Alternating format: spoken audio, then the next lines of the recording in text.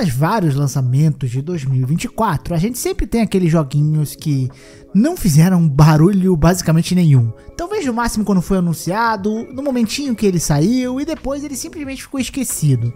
E nesse vídeo eu quero falar aqui de jogos mais esquecidos de 2024.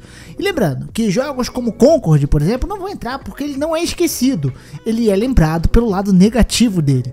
Então filtros são mais isso, jogos esquecidos. Sim, muitos floparam consequentemente, mas não é necessariamente jogos flopados 100%, tá? Então antes de começar o vídeo, não se esqueça, deixa seu like, se inscreve no canal, clica na descrição para você concorrer ao PS5 Pro que vai rolar aí. E vambora pro nosso vídeo. Bem, vamos começar com o Zenland. Zenland é o jogo ali do Akira Toriyama, que pegou um pouquinho de hype, porque ele teve uma demo bem próximo do falecimento do mestre Akira, e eu achei que isso talvez iria hypar o jogo, e, e eu arrisco a dizer que ali a demo que eles mandaram do jogo, né, eles tentaram pegar esse barco, acho, sim, não quero acusar nada, mas acho. Né? E o Zenland é um jogo mundo aberto, que conta uma das histórias do Akira Toriyama, né, você tem um robô que você pode montar, customizar para explorar ali o jogo, mas no geral ninguém ligou muito para ele, ele só foi falado um pouquinho na demo e depois quando saiu, tinha nem gente que sabia que saiu, tem gente nem sabe que esse jogo saiu esse ano. Então assim, sinceramente ficou mega esquecido ali no tempo e é isso, mano, não vai fazer mais nenhum estardalhaço nem barulho nunca mais esse jogo. Outro jogo que eu joguei eu achei legal foi o Banisher's Ghost of New Eden. Embora um jogo bem simples ali, né? Um jogo de aventura onde você controla dois personagens, né? E um deles ali meio que na forma fantasma, então você utiliza a forma fantasma, a forma humana, e isso serve para você derrotar os monstros, né? É, fazer ali as coisas que você precisa fazer, resolver puzzles, etc. É um jogo tem uma ideia legal. Tem alguns problemas, performance, execução, talvez até o jogo se estica demais, eu acho que ele não deveria se esticar. Só que esse jogo antes ele já não estava sendo tão falado assim. Quando saiu, menos ainda. Ninguém falou desse jogo. Ele saiu ali no começo do ano, que foi um ano né, com jogos ali que chamam atenção, chamaram mais atenção que ele. Ele ficou meio que ofuscado ali em relação a outros lançamentos, tá? E teve um jogo, cara, que assim, é um dos remakes daqueles remakes que fala, mano, por quê? Brothers A Tale of Two Sons, né? Esse jogo, ele é um joguinho legal, emocionante e tal.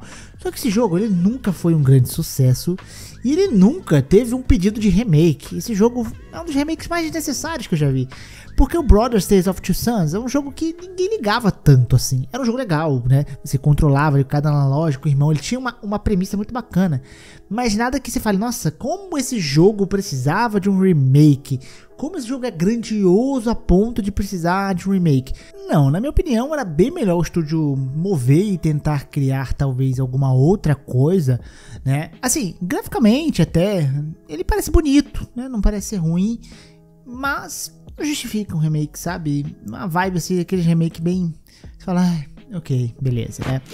Na contramão do Silent Hill 2 Remake, foi um baita remake que conseguiu reviver as memórias da franquia Silent Hill.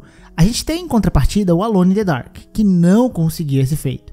Embora não seja um péssimo jogo, ele é um jogo que fica no mediano do mediano mesmo, né? É um excelente nota 6 esse jogo.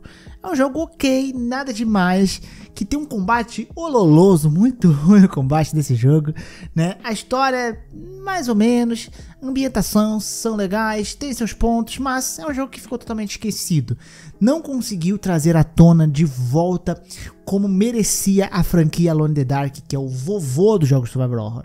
Eles não conseguiram, aquele sentimento, olhando para esse jogo, é de que orçamento todo gasto para pagar rosto de ator famoso e não conseguiu pagar o resto do desenvolvimento. Esse é o sentimento. Se pagasse um rosto aleatório e investisse esse dinheiro no combate do jogo, na exploração do, sei se é da área da mansão, na área de tem os monstros, esse jogo seria possivelmente melhor, mas ele não fez isso e deu errado, né?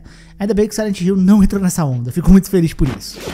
Rise of the Ronin, cara, Rise of the Ronin é um baita jogo esquecido, não é? Ele lançou próximo a Dragon's Dogma, o que por si só já ofuscou esse jogo. E sem contar que ele é um jogo bem ok, né? Ele é um jogo ali da Team Ninja que pega um pouco da vibe Nioh para quem gosta e coloca no mundo aberto. Mas não era um jogo nem tão graficamente legal, mal otimizado e um mundo aberto bem genérico. Eu me diverti com o jogo, ele é legalzinho, mas o fato é de que ele não é um jogo grandioso e ele vai ficar esquecido. Provavelmente Nioh é muito mais lembrado que o próprio Rise of the Ronin. É um jogo muito mais corpado ali. E o Rise of the Ronin não, né? Ele daquele jogo que a galera jogou, passou e esqueceu total. E se jogou, né? Talvez seja lembrado se um dia ele entrar na lista da Plus. Mas eu acho que sim, ele é um perfeito jogo que ficou bem esquecido e lançou próximo de outros jogos e que ofuscou mais ele ainda.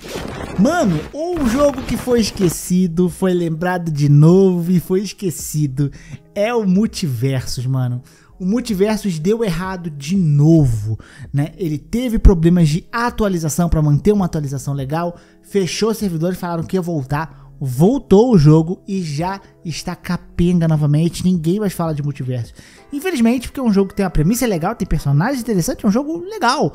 Ele conseguiu fazer entrar naquele meio de jogos como serviço que é difícil, que é lançar e fazer sucesso. Ele conseguiu, mas ele falhou na segunda etapa dos jogos como serviço, que é se manter. Ele não conseguiu se manter com atualizações. Né? É, eu não cheguei a jogar a volta dele, mas eu vi que ele mudou, acho que pra de Engine, né, pra Real Engine, se não faz a memória, e teve pouca alteração de quando ele fechou para abrir de novo, porque parte do tempo foi gastado trocando. Se eu não me engano, foi essa a história do jogo. O fato é que ele foi esquecido mesmo, né, um jogo estilo ali Super Smash Bros, com vários personagens bem legais, só que não conseguiu engatar. Indo nessa mesma onda, vamos falar dos campeões do quadribol? O jogo de Harry Potter. Esse aqui, eu confesso que eu quebrei um pouco a cara com ele. É claro que eu não achava que esse jogo faria um sucesso à altura de um Hogwarts Legacy, mas por ser uma franquia Harry Potter, um jogo de quadribol do Harry Potter, eu achava que esse jogo faria mais sucesso. Sim, ele tem ideias que eu acho que poderiam ser mais bem aproveitadas. Sim, ele é um jogo pago, poderia ser de graça, né? Mas eu ainda acho que isso não era o suficiente para ele flopar. Mas ele flopou, tá? Ele flopou, ele teve poucos jogadores. Agora, se você entrar na Steam, tem 100 jogadores.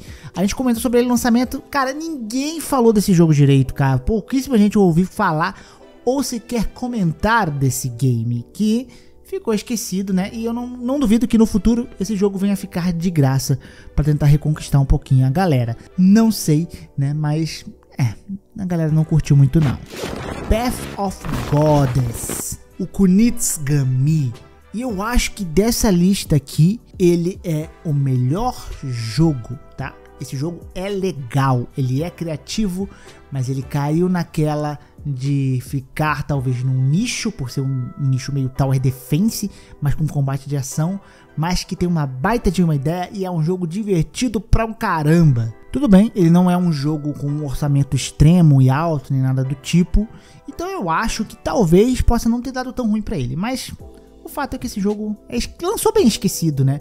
Quando ele foi anunciado, eu lembro que a galera gostou e achou da hora, mas não tinha muita noção do que que era. E quando a galera viu que era meio que um Tower Defense, eu acho que a galera meio que deu um pé atrás ali e esqueceu do jogo, né? Mas triste para ele. Lollipop Chainsaw Repop.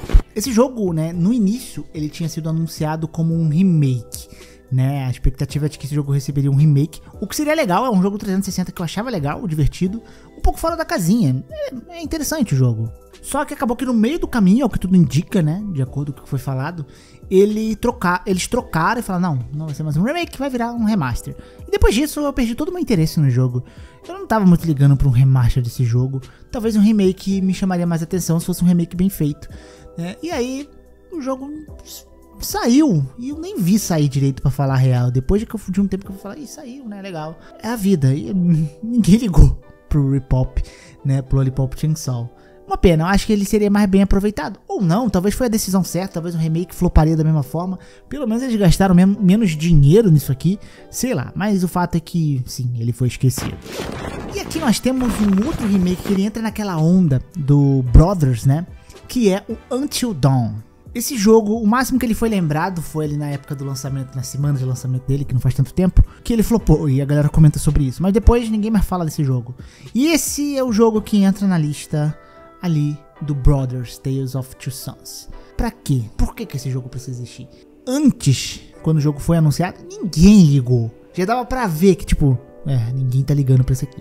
E depois que ele saiu, mano, muito menos. Ninguém quis ligar pra esse jogo. É bonito? Ele tá bonito.